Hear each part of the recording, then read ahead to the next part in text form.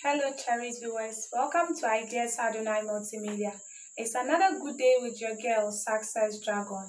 It has been a very long time since I came your way with thought-provoking, educative, and entertaining messages. But guess what? I'm coming up to you today with a thought-provoking message titled Partner Killing. Partner killing has now become the order of the day in the Ghanaian society. This topical issue has called for numerous public concern in recent times. This is due to the fact that people now see partner killing as the practical and rudimentary channel or mechanism to register their dissatisfaction or ill feeling towards their partners. But before we officially go deep and deeper into today's show, let's go for a quick commercial break. When we get back, we commence the show on what partner killing is, its causes, and means to curb it as you enjoy the break, don't forget to subscribe to our YouTube channel and also follow me, a gem presenter, on all social media handles, which includes Facebook, Twitter, and Instagram. Like and share. Stay tuned. I'll be right back. Hello, guys. Your girl exclusive. Nanaya Floriski. Lady Swagger. We are here for Drive Time. motivational messages, Gospel um, Hour. Siakasa. lovers connects, Abrabo Winsem. We would like you to subscribe, like share, on all social media platforms. Ideas Adonai Multimedia, promoting Promoting the the arts. Bye. Bye. Welcome back from that quick commercial break. Let me reiterate on the fact that today's show is going to be educative, entertaining, and indeed thought provoking. The topical issue, partner killing, has now become the order of the day in the Ghanaian society. It's very prevalent and very disheartening in the economy of Ghana. When we say partner killing, partner killing, I will say, is the act of taking one's partner's life. This thing is now very prevalent in the Ghanaian society. This practice is often committed by ladies and men, but talking of prevalency is on the side of men. That is to say, men are mostly the people that takes the lives of their partners as a means of registering their displeasure towards them. And as we all know, people go into relationship for one, two, or more reasons.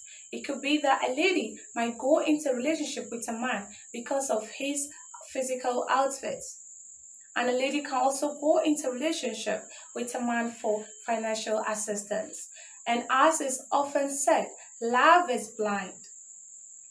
In the process of the relationship, things that are supposed to be significantly regarded as the very factors or roots that can sustain a happy relationship are often disregarded. They include knowing the temperament of the, of the partner, two, knowing the likes and dislikes of the partner, and finally, knowing how your partner acts towards you when you contradict his rules and regulations, or knowing how your, your partner reacts towards conditions that are unpleasant. And what do we see today in this modern Ghana? We see cases of partner killing and domestic violence here and there. This is because people, most especially the young generation coming up, often regard, disregard these things that are supposed to be taken into consideration in order to ensure a peaceful relationship or a marriage. And what do you think are the causes of this very disheartening but prevalent activity in the Ghanaian society? One, a sudden, a sudden end to a relationship without any tangible reason. This very point has now, this very thing, that's a sudden end to relationship without tangible reason, has now become something that is a key factor that caused this disheartening but prevalent cases in this Ghanaian society. Let's just take a recap or recall and an information which was disseminated a month ago about a lady who was shot by her uh, boyfriend because the boy, the girl intends to stop or put an end to their relationship. So let's just imagine you, assuming you are a man who have catered for a lady since junior high school to tertiary education. And now the lady comes up to you and tell you that guy, please, I'm fed up with the relationship. I can't go on with it. This is something that often make men, most especially, to go into this inhuman act that is partner killing as a means of airing or registering their displeasure or, or ill feeling towards their partners. Two, infidelity. This is a situation where partners go into extra extra relationship affairs with other people aside the people they are in the relationship with. The suspected partners are often living with fear in them because they always have that mindset that their other partner may get to know the truth about what he or she is doing. And when it comes to the notice of the other partner, the suspected partner becomes something that the other partner puts a spy on to spy on every move of his or her partner.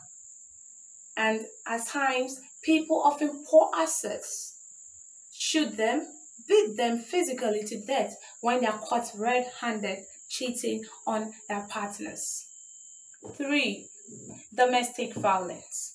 As we all know, domestic violence is something that is so prevalent in Ghanaian society, most especially those in the northern region of this our prestigious country, Ghana. This is because um, people over there are so ignorant and uneducated on the effect and a need to be in good terms or treat their husbands and wives very calmly and gently. And as we know, domestic violence in the process involve physical beatings, batterings, and physical assault as well. Partners often beat or say words that are casual and very hurting to their partners, which can even cause them to take something to hit the other, which can accidentally lead to partner killing. And also, we all know this is something that is very prevalent and very appalling in the Ghanaian society. And this issue, partner killing, has been calling for swift and drastic attention to be tackled with by the agencies in the country. And we are now moving to the measures to curb this. One,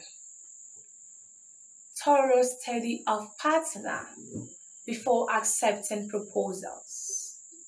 This is to say that before an individual, especially ladies, will accept proposals from men, they have to know the temperament of the person, how the person behaves or reacts towards situations that are conditionally unpleasant, his likes and dislikes. This will ensure great interpersonal relationship between partners. When people get to know the temperament and the likes and dislikes of his or her partner, they are able to live harmoniously without squabbles and petty disagreements, which can in turn lead to domestic violence, which escalates to partner killing when the appropriate measures are not put in place. Two, relying on criminal justice. That is something that I'm directing to married women, most especially, because this is where ladies have to be assertive, have to be bold enough to stand tall and report their husbands that threatens to kill them to justice institution for justice to take its course. I will say to my my mother's watching me or any married woman watching me that I am a girl of 17 years old but have this passion to be someone, to be a voice of conscience. And I therefore entreat you all married women that don't don't hesitate to report your husband who threatens to kill you immediately you utter something like, I will kill you, I'll beat you, I'll stab you, don't hesitate to report this kind of person or husband to the um, criminal justice institutions for it to take its course. Don't wait for it to befall you before you report. And what if that day you don't survive again? Who is going to tell the story? Who is going to clarify everything? Who is going to serve as a witness and then a, a tangible evidence of the incident that happened? Two, endorsing media campaigns against partner intimate violence. This is an entry, an entry that I'm giving to the Queen Mothers, the President of Ghana, the media, the gender ministry, and Queen Mothers of this land. I tell you, that is something that is hurting me. And that is, I see nothing that you people are doing about it. So I therefore entreat you to resource the media institutions, to campaign, to educate, to sensitize the public on the, the need to be very, very good in their relationships and on the effects of harming one's partner. This can also at times abate the rate at which domestic violence occur in this country, which often leads to partner killing in recent times.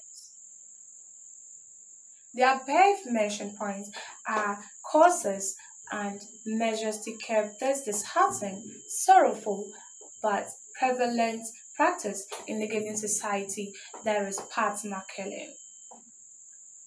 But there is this thing that baffles me most in this country. I'm a girl of 17 years old and I always get frightened, I always get scared about the future. This is because ladies are now being killed like chickens. This is because we ladies, we are ignorant. We, are, we don't have the needed information about things that we indulge in. So I therefore call out with a solemn and, and, and a solitary voice to the Queen Mothers of our land, the President of Ghana, and the Gender Ministry, especially the Waju, to take a drastic and swift attention to this topical issue, partner killing. I want Queen Mothers to educate the girls on the need to be to stay chaste on the implications of things that they do in life. Let's just take a look at this. An SHS girl who posted a video publicly saying that, Hey, married women, we are at the verge of completing. And if you want the best for you, you better hide your husband because we are coming for them. My brother, my sister, my mom, my dad watching me. What is the implication of what this girl said? And as you know, when young girls of today do such things and they are not questions, they are not put to book, they become addicted to it. And when in the future, when they marry, they won't be able to stay with one man. They will intend to cheat, which often leads to this inhuman practice now, partner killing in the Ghana in the Ghanaian society nowadays. Before I validate and say goodbye to you, my part, my cherished viewers, I would like to give some shout outs to some very some personalities out there. My first shout out goes to IJS the Cardinal Man, my director. Secondly, to Foster IMB, my tutor, who has always been my role model, my source of inspiration, and many more. Thirdly, a big shout out goes to my brothers in Accra, Haganibela Paul, Yao Jacob, and Isaiah. And to all my family members, I say thank you. I also say good morning to my paramount chief of Seruku called Naba Atondeya Buzotikom Samis Kamaltenga Roland Aquara the Third and the um, paramount chief of Zokokodoroko. I say thank you to all St. Monica skills. You've been my source of inspiration. You've been that source of vigor to my elbows. You've given me grace. You graced me like that of a mortal to start a race. Thank you for your inspiration. I say goodbye to everyone watching me. But as I let me reiterate on the fact don't forget to subscribe to our YouTube channel and also follow me, your gem presenter, on all social media handles, which includes Facebook, Twitter, and Instagram.